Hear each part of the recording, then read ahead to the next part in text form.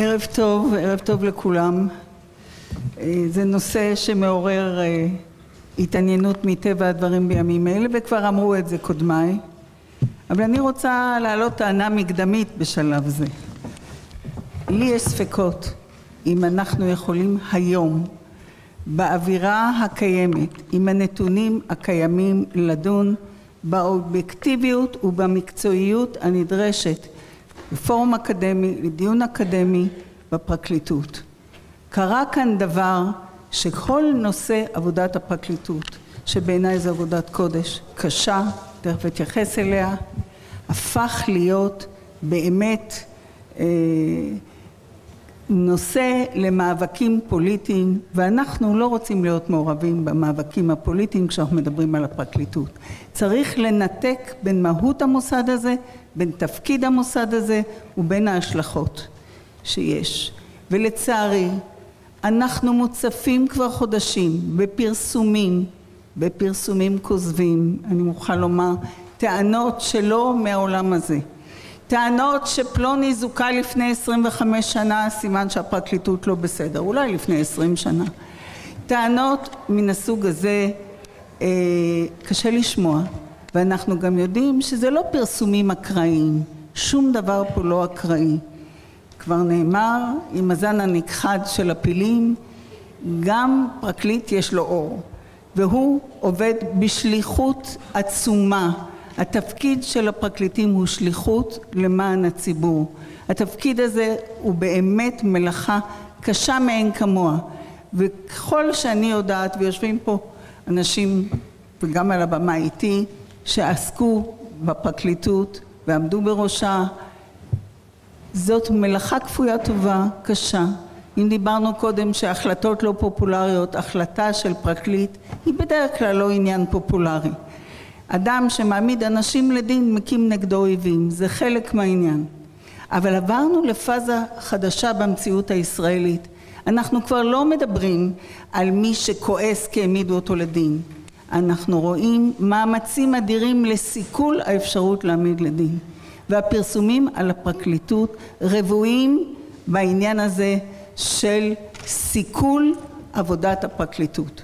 ולכן יש לי קצת הסתייגות מכל דיון שתורם עוד צעד למאבק בפרקליטות. מותר לבקר, צריך לבקר, אני אתייחס לזה, אבל זה, זאת איננה ביקורת עניינית, זאת מלחמה באוכפי החוק. זאת מגמה של הריסת המוסדות, ואנחנו הולכים צעד אחרי צעד, קודם משטרה, אחר כך פרקליטות, ואני בחיל ורעדה חושבת שהמוסד הבא שיהיה על הכוונת יכול להיות גם בית המשפט. זאת האווירה שיצרו. זה כאוס.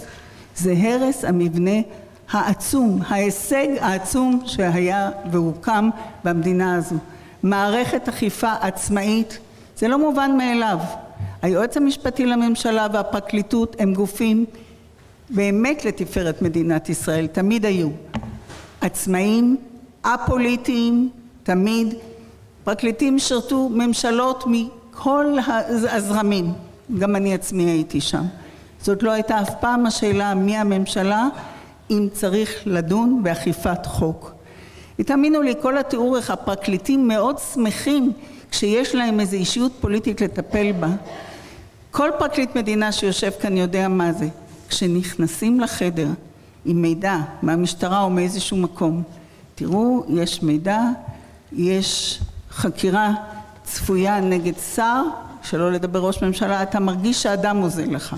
מי רוצה להתמודד עם הקושי הזה? והקושי הזה נהיה הרבה יותר עם הכלים שיש היום, עם הרשתות החברתיות ששמענו עליהן, עם העוצמה שיש כדי לתקוף את הפרקליטות. עכשיו פרקליטים רגילים להיות מטרה אישית תמיד, מפני שעבריינים זה בכל זאת עיקר האוכלוסייה שמטפלים בה, הם עומדים בסיכונים כולל סיכוני חיים ובמקום לבנות אמון שיסייע לאנשים להתמודד עם המשימה החשובה מאין כמוה, כמובן המלחמה בשחיתות ובעבריינות בכלל, אנחנו כל הזמן עוסקים בלמצוא איפה שגו.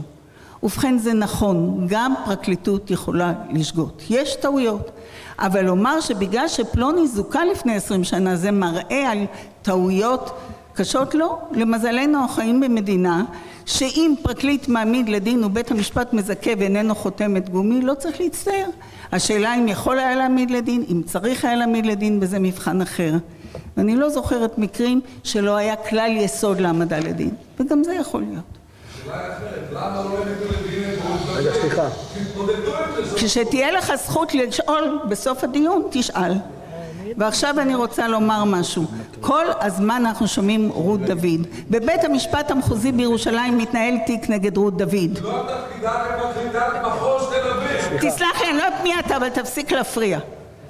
והדבר הוא שיש דוח מלא של חקירה משטרתית בעניין רות דוד ובחקירה המשטרתית הזו ההחלטות היו של שני יועצים משפטיים לממשלה שהחליטו שאם הייתה הפרת אמונים והם קבעו שלא הייתה הפרת אבל אם הייתה והמקרה גבולי היא התיישנה לא יכלו כבר להעמיד לדין. אז לא הייתה לה שום חסינות.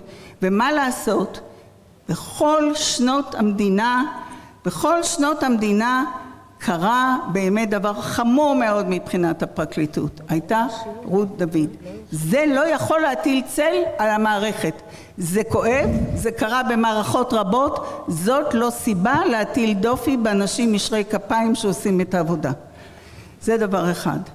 אנחנו הגענו להסתה והסתה מפחידה.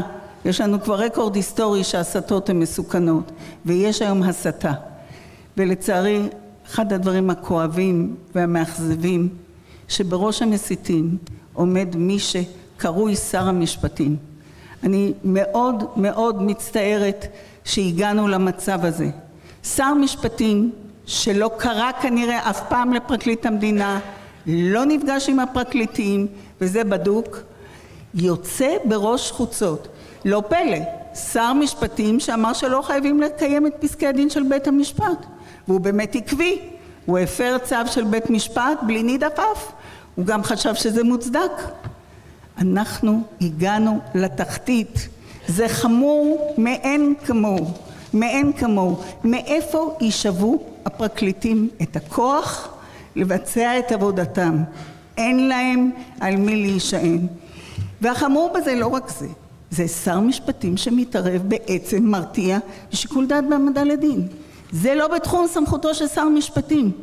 הוא צריך לדאוג להרבה מאוד דברים אדמיניסטרטיביים במשרד, הוא צריך לעמוד מול הכנסת להסביר את המשרד, והוא לא יכול לנקוט עמדה בכל הנוגע לעמדות לדין, או להשחיר את מי שצריך לקבל החלטה להעמיד לדין. עד כדי כך לא קרה כדבר הזה במדינת ישראל. וכולנו, המשפטנים, צריכים להתנער ולחשוב איפה אנחנו עומדים, מה יהיה מחר ומה יהיה מחרתיים. עכשיו אני רוצה לומר עוד דבר, זה באשר, עכשיו אמר יואב קודם, בצדק אולי, שיש טענות, ששוב מי מפיץ אותן? אלה אינן טענות אותנטיות, אלה טענות שמישהו דאג להפיץ. בכל מיני נושאים ותיקים ישנים, פתאום נזכרים במשהו שהיה לפני כמה שנים ואולי זה היה לא בסדר, אין לזה שחר. אבל מעבר לזה הביקורת. מה שמטריד אמר יואב, הביקורת. טוב, אני יכולה רק לומר, יש היום חוק של נציב תלונות נגד פרקליטים. מאות תלונות מגיעות לנציב. כל הסיפור שכל פעם חוזרים למה גרסטל, לא זה הרגע להגיד שופטת מכובדת, לא אשת ביקורת במקצוע בכלל, לא עם רקע של ביקורת, ובלי חוק ובלי הזדמנות לפרקליטים להגיב, זה היה פרטיזני, עם כוונה טובה אבל פרטיזני. הנושא הזה ממוסד, הפרקליטים מקבלים חוות דעת של הנציב, יש הרבה דברים שתוקנו, יש דברים שצריכים תיקון.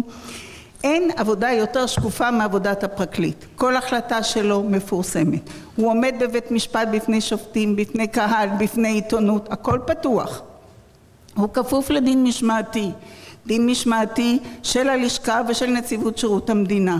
ויש מבקר. ואין לך דבר יותר מזמין תלונות מפרקליט. כל צד שמפסיד, שרוצה להרוויח זמן בבית משפט, שרוצה לעשות אובסטרוקציה כלשהי, דבר ראשון הוא יגיש תלונה נגד הפרקליט. עכשיו יש גם תלונות אמיתיות, יש גם תלונות שמסיקים מסקנות מהן.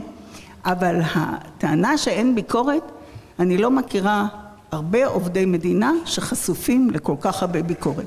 נכון יואב, יש להם כוח עצום, זה נכון, בהחלט, אני אכבד את הדקה הזאת.